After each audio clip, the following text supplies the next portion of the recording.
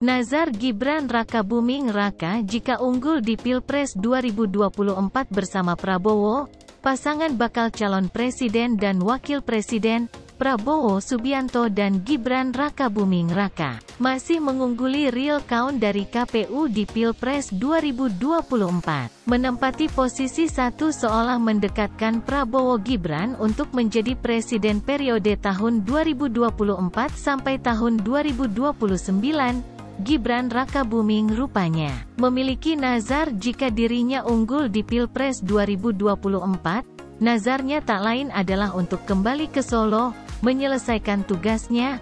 Hal itu diungkapkan oleh Gibran di depan awak media. Ketika ditemui di Balai Kota Solo pada Jumat, tanggal 16 Februari tahun 2024, ya saya kembali bertugas sebagai wali kota, ungkap Gibran, Gibran pun mengaku akan kembali fokus menuntaskan tugas-tugasnya di kota Solo.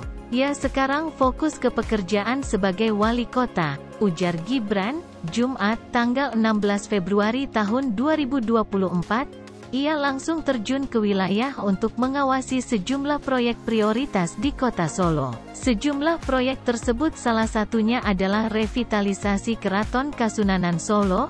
Sebelumnya, Gibran juga sudah melakukan renovasi ke Pasar Kongke dan Balai Kambang, pihaknya pun kini juga akan mempersiapkan adanya Solo Safari Fase 3. Jumat pagi ini pun, Gibran sudah menyempatkan diri untuk meninjau pengerjaan alun-alun Keraton Solo. Tadi kan saya muter ke alun-alun dan tempat-tempat lain, sudah berprogres cukup baik, ujar Gibran.